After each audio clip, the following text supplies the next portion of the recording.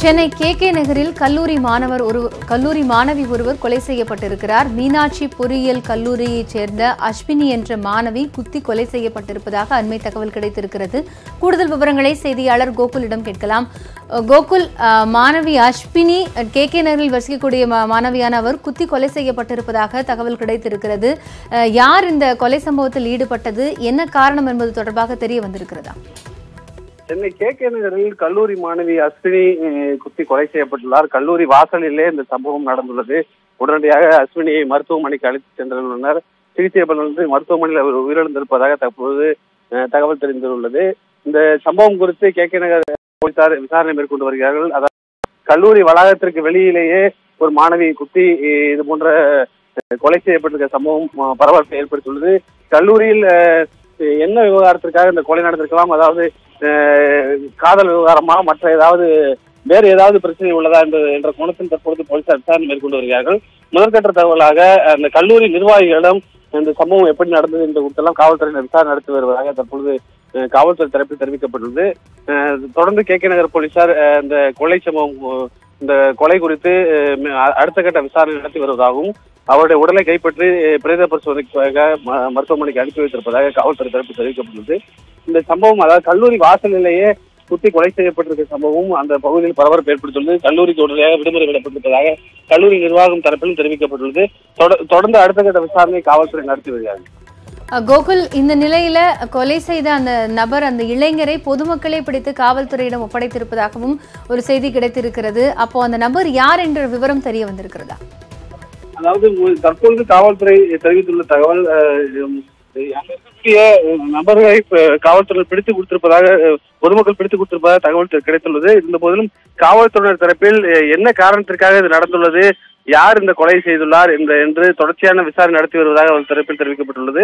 அந்த இளைஞருடைய முழு விவரம் தெரியவில்லை. ஆனால் அஹ், அங்க இருக்கவர்கள் பிடித்து கொடுத்திருப்பதாகவும் கல்லூரி நிர்வாகிகளிடம் அது குறித்து விசாரித்து வருவதாகவும் காவல்துறையுடைய உயரதிகாரிடம் பேசும்போது அந்த முதற்கட்ட தகவலை அவர் தெரிவித்துள்ளனர். கோகுல் இந்த சம்பவம் எப்போது நடைபெற்றது? அந்த பெண்ணினுடைய பெற்றோரிடம் இது குறித்த தகவல் தெரிவிக்கப்பட்டிருக்கிறதா? எந்த மருத்துவமனைக்கு அந்த பெண்ணினுடைய உடல் எடுத்துச் செல்லப்பட்டிருக்கிறது? அதாவது இந்த சம்பவம் இன்று பிற்பகல் நடந்திருப்பதாகவும் உடனடியாக அவர் மருத்துவமனைக்கு அங்க இருக்கக்கூடிய அருகாமையில் இருக்கக்கூடிய மருத்துவமனைக்கு அழைத்து செல்லப்பட்டிருப்பதாகவும் அவர் உயிரிழந்த தகவல் அங்கு பரிசோதித்த மருத்துவர்கள் அவர் அவர் உயிரிழந்திருப்பதாக தெரிவித்துள்ளனர். அவருடைய உடல் பிரேத பரிசோதனைக்காக ராயப்பேட்டை அரசு பொது மருத்துவமனைக்கு அழைத்து அனுப்பி வைக்கப்பட்டிருப்பதாகவும் காவல்துறை தரப்பில் தெரிவிக்கப்பட்டுள்ளது. அடுத்த கட்டமாக இந்த அவருடைய பெற்றோருக்கும் தகவல் தெரிவிக்கப்பட்டுள்ளது.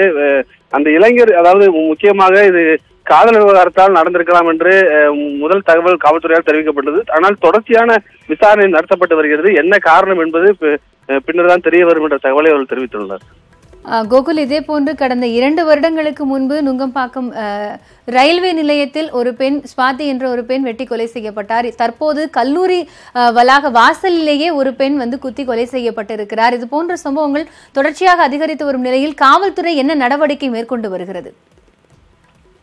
அதாவது ஏற்கனவே நுங்கம்பாக்கத்தில் சுவாதி என்ற மாணவி கொலை செய்யப்பட்ட நிலையில் தற்பொழுது இது போன்ற ஒரு மாணவியும் கொலை செய்யப்பட்டிருக்கிறார். அதாவது இது இந்த சம்பவமானது கல்லூரி வளாகத்திற்கு வெளியிலேயே நடந்துள்ளது. ஆகவே இது நிச்சயமாக இது ஒரு தனிப்பட்ட விரோதத்தால் நடந்திருக்கலாம் என்ற தகவலை காவல்துறை தரப்பில் தெரிவித்துள்ளார்கள். உடனடியாக அந்த இளைஞரையும் பிடித்து கொடுத்துள்ளார்கள். தொடர்ச்சியான விசாரணையானது மேற்கொள்ளப்பட்டு வருகிறது. அடுத்த கட்ட விசாரணைக்கு பின்புதான் என்ன காரணம் என்ற முழுவதும் தெரிய வரும். கோகுல் இப்போ நிகழ்விடத்துல காவல்துறை உயரதிகாரிகள் யார் யாரெல்லாம் இருக்கிறாங்க? இந்த சம்பவம் குறித்து உடனடியாக துணை ஆணையர் அரவிந்தன் ஸ்ரீநகர் துணை ஆணையர் அரவிந்தன் தலைமையில விசாரணை வந்து மேற்கொள்ளப்பட்டு வருது. கே. கே. நகர் உதவி ஆணையர் மற்றும் இன்ஸ்பெக்டர் உள்ளிட்ட காவல்துறையுடைய அதிகாரிகள் சம்பவ இடத்திற்கு சென்று இந்த விசாரணை நடத்தி வருகிறார்கள். தொடர்ந்து அடுத்த கட்ட விசாரணையின் போது என்ன காரணம் இந்த சம்பவம் எப்படி நடந்தது என்ன காரணம் என்ற முழு விவரம் தெரிய வரவும். கோகுல் அந்த கல்லூரி மாணவியினுடைய பெற்றோரோ அல்லது உறவினர்கள் யாரேனும் தொடர்பு கொண்டு இது தொடர்பாக ஏதேனும் விவரங்களை கேட்க முடிந்ததா? இல்ல இந்த சம்பவம் கேள்விப்பட்ட உடனே உடனே காவல்துறையினர் மட்டும்தான் பேசப்பட்டுள்ளது.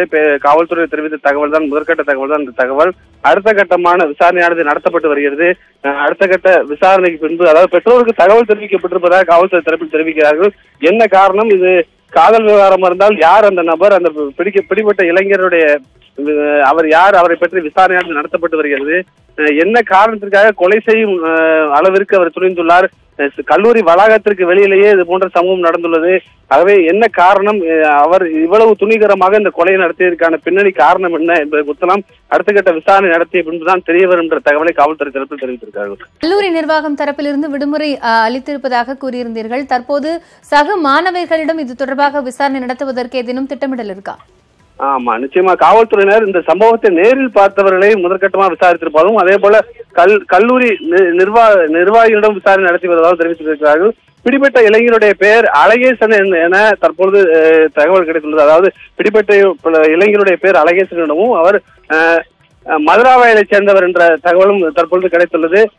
காதல் விவகாரத்தை தான் இந்த கொலை நடந்திருப்பதாகவும் அதாவது இந்த அஸ்வினி என்ற பெண்ணும் மதுராவயல் பகுதியைச் சேர்ந்த பெண் அழகேசனும் ம- மதுராவயல் பகுதியைச் சேர்ந்தவர் இரண்டு இருவருக்கும் காதல் விவகாரத்தினால் தான் இந்த கொலை நடந்திருப்பதாக தற்போதைய தகவல் காவல்துறை தரப்பில் தெரிவிக்கப்பட்டுள்ளது. பிடிபட்ட அழகேசனிடம் தொடர்ந்து விசாரணையானது மேற்கொள்ளப்பட்டு வருகிறது. அஹ், இது எவ்வளவு நாள் இருவருக்கும் காதல் இருந்துள்ளது. என் கொலை செய்யும் அளவிற்கு இவர்களுக்கு இடையில் என்ன கருத்து வேறுபாடு இருந்தது? அதற்கான காரணம் என்ன என்பது குற்றம் விசாரணை நடத்தி வருவதாக போலீஸ் தரப்பில் தெரிவிக்கப்பட்டுள்ளது. கோகுல் தற்போது இந்த கல்லூரி வலா வாயிலில் இந்த சம்பவம் நடந்திருப்பதால் அங்கு நிச்சயமாக காவல்துறையினரின் பாதுகாப்பு இருக்கக்கூடும். தற்போது என்ன மாதிரியான பாதுகாப்பு நடவடிக்கைகள் காவல்துறை தரப்பினரால் மேற்கொள்ளப்பட்டிருக்கிறது? உடனடியாக கல்லூரிக்கு விடுமுறை விடப்பட்டுள்ளது. கல்லூரி வாயிலுக்கு வெளியில் போலீசார் குவிக்கப்பட்டுள்ளார்கள். இந்த சம்பவத்தை அடுத்து மாணவியர்கள் மத்தியிலேயும் ஒரு அது ஒரு அதிர்ச்சியை ஏற்படுத்தியுள்ளது. கல்லூரி வ- வள- வாயிலுக்கு வெளியிலேயே இது போன்ற ஒரு கொலை நடந்திருப்பது மாணவியின் மத்தியிலேயே ஒரு அதிர்ச்சி ஏற்படுத்தியுள்ளது. ஆகவே கல்லூரி உடனடியாக கல்லூரி நிர்வாகம் விடுமுறை விடுத்துள்ளது. தொடர்ந்து மாணவிகளிடமும் இந்த சம்பவத்தை நேரில் பார்த்த மாணவிகளிடமும் அதே போல அஸ்வினியுடைய தோழிகளிடமும் இந்த விசாரணையானது நடத்தப்பட்டு வருகிறது. அந்த அழகேசன் யார் இவர் நேரில் கல்லூரியில் வந்து இதற்கு முன்னாடி பார்த்துள்ளார்களா என்ற அடிப்படையில் அந்த மாணவிகளிடம் விசாரணை நடத்தப்பட்டு வருகிறது. அதில் இளைஞர் அழகேசன் பிடிபட்டுள்ளார். அவரிடமே என்ன காரணத்திற்காக இந்த இருவருக்கும் மோதல் இருந்தது என்பது குறித்தெல்லாம் விசாரணை நடத்தப்பட்டு வருவதாக காவல்துறை தரப்பில் தெரிவித்துள்ளனர். மீனாட்சி பொறியியல் கல்லூரியைச் சேர்ந்த மாணவி அஸ்வினி கல்லூரி வளாகத்திலேயே இளைஞர் ஒருவரால் குத்தி கொலை செய்யப்பட்டிருக்கிறார். இது தொடர்பான தற்போதைய தகவல்களை விரிவாக வழங்கியமைக்காக நன்றி கோகுல்.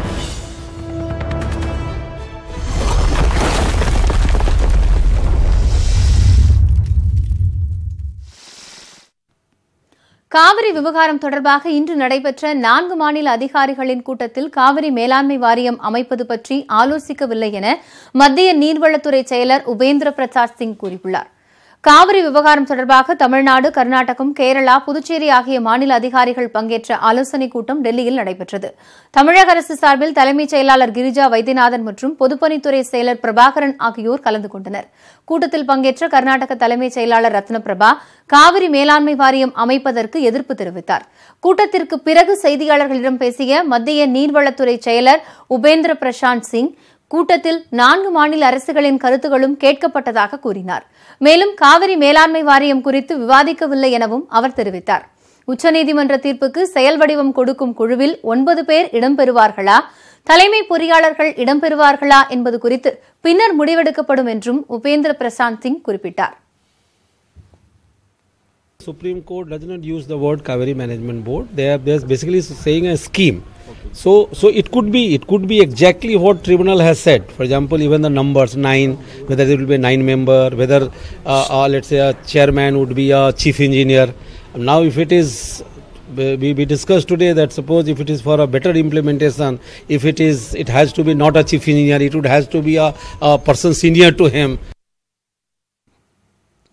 கூட்டத்திற்கு பிறகு செய்தியாளர்களிடம் பேசிய கர்நாடக தலைமைச் செயலாளர் ரத்னபிரபா உச்சநீதிமன்ற தீர்ப்பில் உள்ளபடி செயல்படுத்தப்பட உள்ள திட்டம் குறித்து விளக்குமாறு மத்திய அரசிடம் கேட்டுக் கொண்டதாக தெரிவித்தார். கர்நாடக அரசின் கருத்துக்களை இன்னும் மூன்று நாட்களில் விரிவான அறிக்கையாக தாக்கல் செய்ய உள்ளதாகவும் அவர் குறிப்பிட்டார்.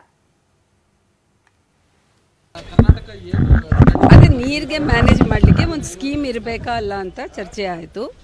ಸೊ ನಾವೆಲ್ಲರೂ ಸ್ಕೀಮ್ ಇರಬೇಕು ಅಂತ ಹೇಳಿದ್ದೀವಿ ಆ ಸ್ಕೀಮ್ ಯಾವ ರೀತಿ ಇರಬೇಕು? ಪ್ರ, ಪ್ರತಿ ಒಂದು ರಾಜ್ಯ ಮಟ್ಟದಲ್ಲಿ ನಾವು ಚರ್ಚೆ ಮಾಡಿ ನಮ್ಮ ಮುಖ್ಯಮಂತ್ರಿ ಮತ್ತು ಬೇರೆ ಅಂದರೆ ವಿರೋಧ ಪಕ್ಷ ನಾಯಕರ ಜೊತೆ ಎಲ್ಲ ಮುಖ್ಯಮಂತ್ರಿ ಅವ್ರು ಚರ್ಚೆ ಮಾಡಿ, ಆ ನಂತರ ನಾವು ಕಳಿಸ್ಕೊಡ್ತೀವಿ.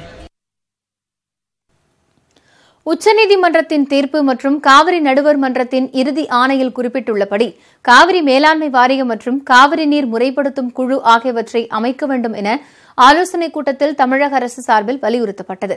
மேலும் காவிரி நடுவர் மன்றத்தின் ஆணைகளை திறம்பட செயல்படுத்த அனைத்து அதிகாரங்களை கொண்டதாக இந்த இரு அமைப்புகளும் இருக்க வேண்டும் என்றும் கூட்டத்தில் வலியுறுத்தப்பட்டதாக தமிழக அரசு தெரிவித்துள்ளது.